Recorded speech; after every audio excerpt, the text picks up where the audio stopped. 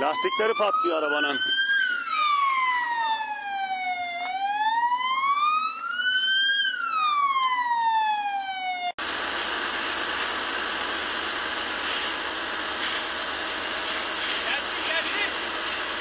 Ya. Bir şey yok.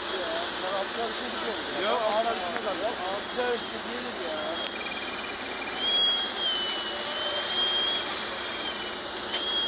Bu akşam denizim yoktu benim biliyor musun?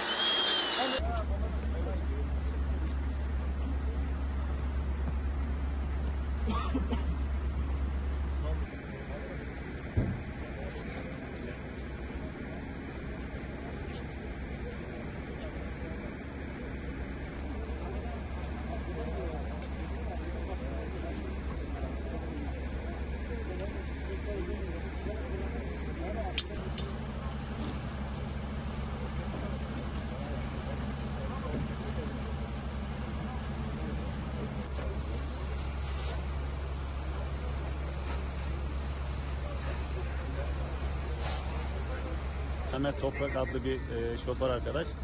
Dört servisini yapıyor, işleri dağıtıyor. Beşte evine geliyor.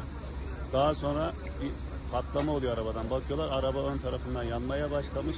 Hemen ambulans haber veriyorlar. Arkaya doğru yayılıyor bir anda sarıyor arabayı.